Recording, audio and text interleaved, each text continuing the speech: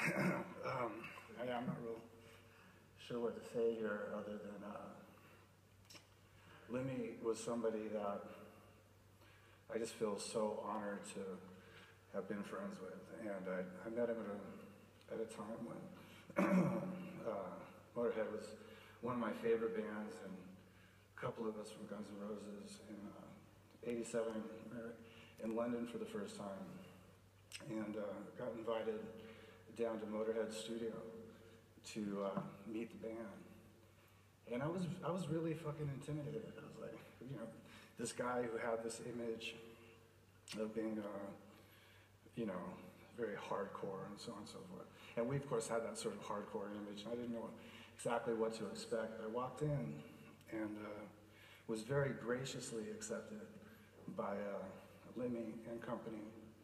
And uh, we headed off after the session to uh, St. Moritz, and we've been friends ever since.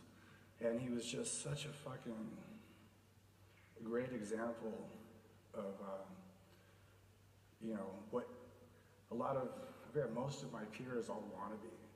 Somebody who was like true to his school, uh, had more integrity in one finger than, you know, a room full of rock and rollers, you know. Uh, and, and straight up honest, uh, 100% loyal, and just all these really fine attributes in a guy who uh, had this very sarcastic and very, as it was said earlier, northern sense of humor.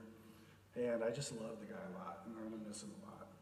But, uh, you know, all things considered, he did live the way, you know, his life the way that he wanted to. And I remember when I decided, after years of struggling, that yeah, I was going to get, you know, I, got sober. And the first time I see, saw him, and I didn't have a flask of Jack Daniels in my jacket, because that's how we used to always uh, greet each other. Um, he was actually very disappointed.